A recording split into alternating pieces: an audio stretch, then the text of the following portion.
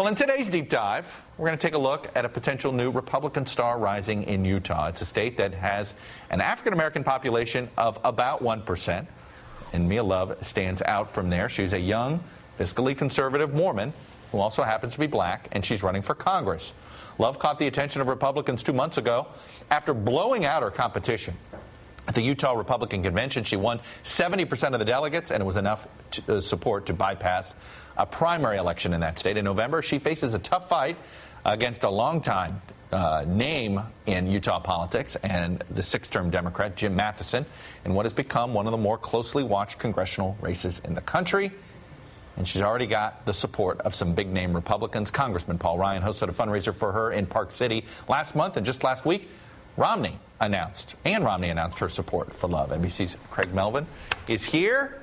Craig, you went out to Utah Hung out with Mia Love. What'd you learn? Uh, I'll tell you one thing. She is quite the runner. More on that a little bit later. A lot of folks, Chuck, they may not know her name just yet, but Mia Love, as you mentioned, creating quite the stir within the Republican Party, generating some sorely needed buzz and excitement in the GOP, long criticized for its lack of diversity and inclusiveness.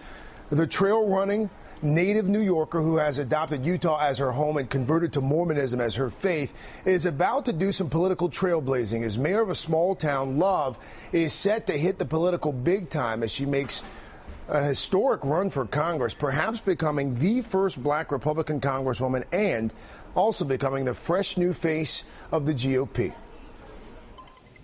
This is quite the hill. Oh, it gets worse. Mia Love is the running gunning. How's it going? Good, how are you? I'm Glad handing mayor of Saratoga Springs, a town of 20,000 just outside Salt Lake City, Utah. You love this place, don't you? Oh, I love it. Life is just great out here. The 36 year old became the Republican nominee for Congress in Utah's 4th District. Now, Love is running the race of her life. A win in November means she'd make history the first black Republican woman ever elected to Congress. But that's not what she wants to talk about. We're focused on color and race when we should be focused on preserving the future, preserving this country. You don't talk about race a lot, do you? I don't, because it doesn't define who I am. And in a town that's more than 90% white, her constituents ah, don't mind either. I think that's wonderful that she's she brings some culture and, and some diversity to the plate. Her race is not an issue to me. The mother of three would rather be known for her brand of conservatism, rooted, she claims, in her Mormon faith. I support marriage between a man and a woman. And her Haitian parents' immigrant upbringing. I just watched two people achieve the American dream, work hard. I'm a product of that.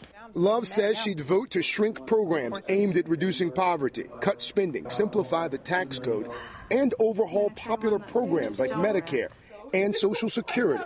I think my opponent represents views that are way out there. For 12 years, Congressman Jim Matheson has represented the most Republican district held by a Democrat. You know my past. I mean, it's really not the politics I was raised on. He's the son of a former governor and admits Love's story is compelling, but not her politics.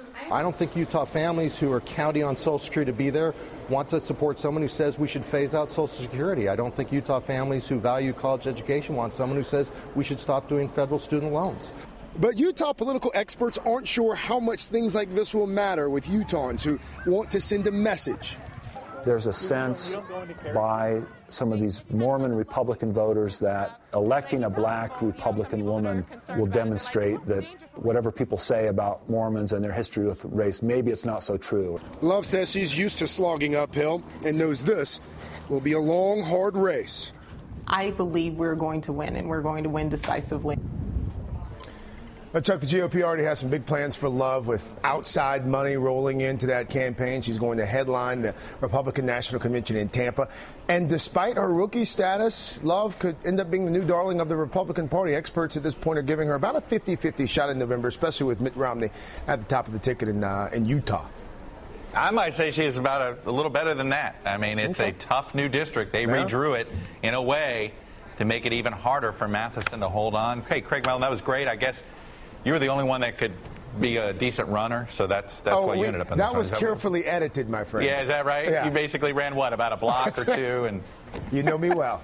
ah, nice work, Craig. Thank Thanks, you, buddy. sir.